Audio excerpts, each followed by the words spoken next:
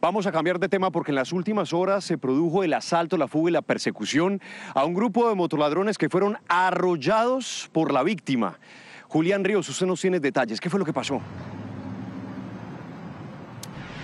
Sí, señor, este es un polémico caso en el que hay que señalar y advertir que hemos tratado de ubicar la versión y la respuesta por parte de la víctima y de sus abogados, pero no hemos podido tener todavía una respuesta sobre estos hechos. Y es aquí precisamente donde ustedes empiezan a observar cómo esta víctima es asaltada por varios delincuentes con armas de fuego, lo golpean cuando él se encuentra eh, frente a su vehículo, lo golpean, incluso le alcanzan a hacer un disparo, le roban cadenas de oro, dinero y algunas de sus pertenencias. Luego se ve en este video cuando los delincuentes abordan las motocicletas en las que al parecer vienen acompañados de sus presuntos eh, cómplices y huyen. Y es, segundos después en el que la misma imagen muestra cuando la víctima emprende la persecución a toda velocidad en un vehículo de alta gama. Bueno, finalmente después de varios segundos veamos la siguiente imagen donde aquí terminan eh, estrellados eh, por parte de la víctima en viste y a los motociclistas y va a parar contra un bus del SITP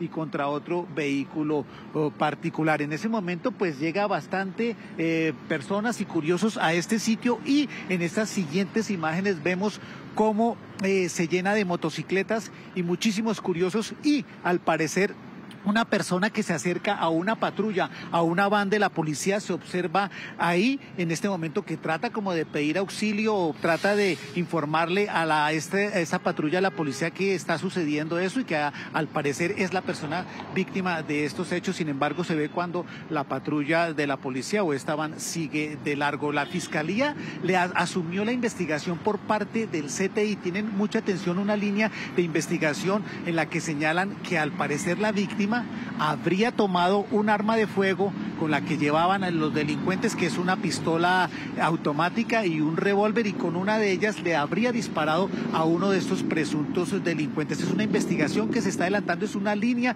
de hipótesis que tiene la Fiscalía, por eso le hicieron un tema de absorción atómica a esta persona, a la supuesta víctima, para determinar si le disparó a esta persona, a este presunto delincuente que falleció minutos después en el hospital de Kennedy. Doctor Miguel Hernández, usted que conoció este caso eh, y que sabe la línea de investigación que estamos esperando una respuesta por parte de los abogados y de la víctima eh, de esta línea de investigación en la que él habría tomado un arma de fuego y le habría disparado al presunto delincuente.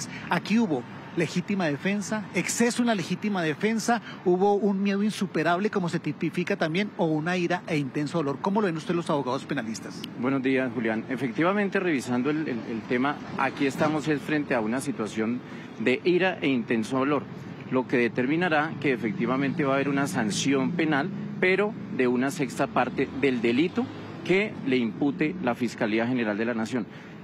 Puede existir un exceso en la legítima defensa siempre y cuando de los elementos materiales probatorios o de la evidencia física logren demostrar que en ese momento en que se causa la muerte eh, corría peligro, es decir, estaba en peligro la vida de eh, la víctima de la camioneta. Pues, es decir, eh, se puede acudir por parte de, esta víctima que hubo una legítima defensa en caso de que ella estuviera en peligro en ese momento, pero ya los presuntos delincuentes estaban en el piso heridos y no podrían hacer nada. Ahí hubo un exceso. Claro, el artículo 32 del Código Penal contempla el exceso en la causal de legítima defensa, ¿sí? Es decir, que también habría una sanción penal sea por ira o intenso dolor, o sea por una, un exceso en la causal de legítima defensa, va a haber una sanción penal. Claro, ¿y cómo se puede alegar ahí el miedo insuperable? Por la misma situación, el miedo insuperable, la, la rabia, el dolor de verse afectado en su vida, en su integridad, porque esta persona es lesionada también, entonces se enmarca ahí el, el, el miedo insuperable.